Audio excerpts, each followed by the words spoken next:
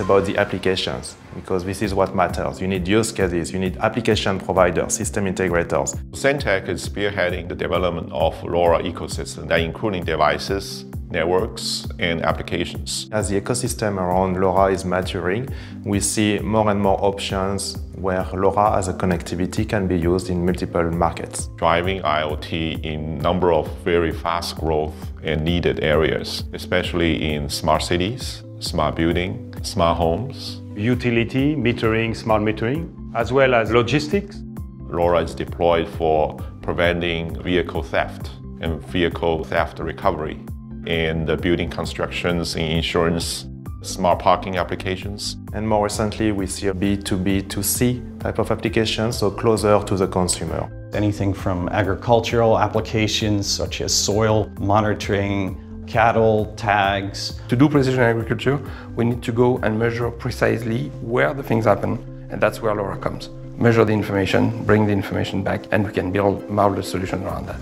Understanding the location of objects at any given moment in time is a universally applicable problem, from manufacturing through to you know, hospital to smart building. To me, that's kind of the killer use case overall, if you like. The most interesting use case I've seen so far is a termite sensor. So this termite sensor sends out an alert in the presence of termites and it eliminates the periodic manual checking for termites and termite traps. Every single time I see a use case come back from a customer um, and the range of different applications that you're starting to see, I think we're only at the very beginning. It has been the, the missing link in a lot of applications because the connectivity was either too expensive or too power hungry, requiring very high and big batteries. Now we removed all those bottlenecks with uh, LoRaWAN and LoRa technology and it enables all those companies who had great ideas but couldn't go to the finish line. Now they can get there very quickly and get their product offering to the market.